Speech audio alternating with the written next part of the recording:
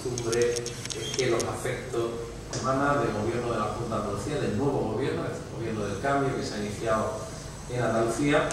Y para mí es un motivo con el Gobierno, por supuesto, con el presidente de la ciudad autónoma.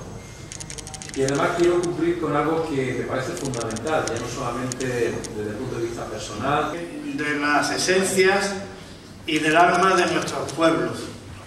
Un vínculo